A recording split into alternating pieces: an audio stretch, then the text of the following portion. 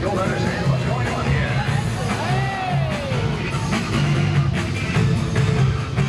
here. Give me upright, Give me upright.